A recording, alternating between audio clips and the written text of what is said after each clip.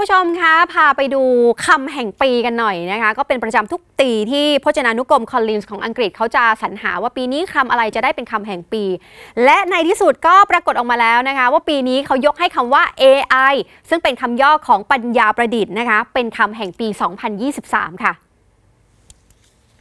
พจนานุกรมคอลลินส์ของอังกฤษนะคะ ยกให้ AI ซึ่งเป็นคำย่อของปัญญาประดิษฐ์นะคะ เป็นคำศัพท์แห่งปี 2023 เพราะว่าพบว่ามีการใช้งานเพิ่มขึ้นอย่างรวดเร็ว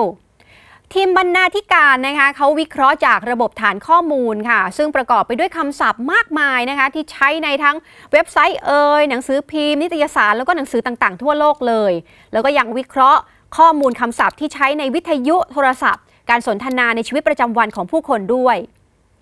อเล็กซ์บีครอฟค่ะ กรรมการผู้จัดการของพจนานุกรมคอลลินส์บอกว่าโฟกัสสำคัญในปีนี้ก็คือ AI นะคะ ซึ่งเป็นเทคโนโลยีที่พัฒนาได้อย่างรวดเร็ว และถูกใช้อย่างแพร่หลาย จนเข้ามาเป็นส่วนหนึ่งของชีวิตประจำวัน ขณะที่ประเด็นเรื่องของการกำกับดูแลขอบเขตการใช้งานของ AI นะคะ เพื่อไม่ให้เกิดผลเสียกับมวลมนุษยชาติ ก็กลายมาเป็นประเด็นที่ถูกหยิบยกขึ้นมาพูดถึงตลอดทั้งปีค่ะ ติดตาม PPTV HD 36 ได้ทุกช่องทาง และอย่าลืมกด Subscribe พร้อมกดกระดิ่งแจ้งเตือนด้วยนะครับ จะได้ไม่พลาดข่าวสารและคอนเทนต์ดี ๆ อีกมากมาย